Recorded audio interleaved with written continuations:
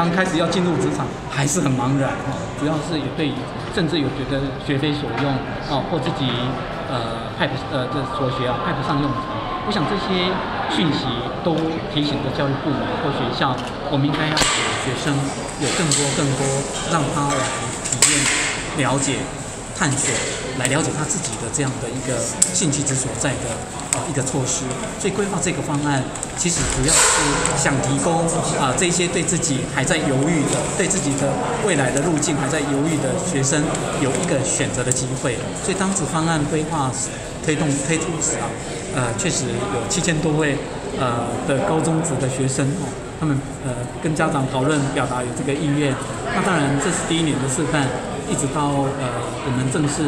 提出申请的时候啊，大概有两千三百多位的学生啊提出呃这个申请。我想这个数字呃有落差，那呃我们也进一步去了解哦。那当然啊，蛮多的因素啊。第一个呃也是考虑到呃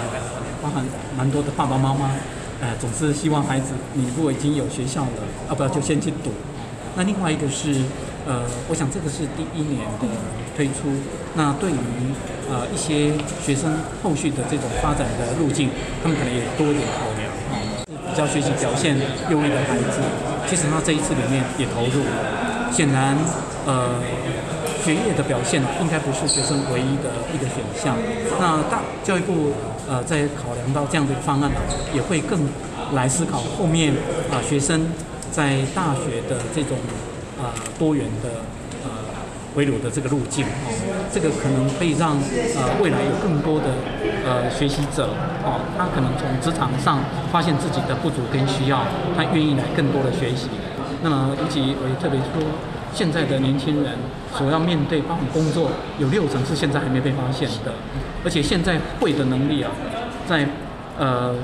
一个阶段里面啊，他可能完全派不上用场。那么从这样的一个呃，可能性来讲，要帮青年找出路，给他最好的就是了解他自己。不只是说这些学生，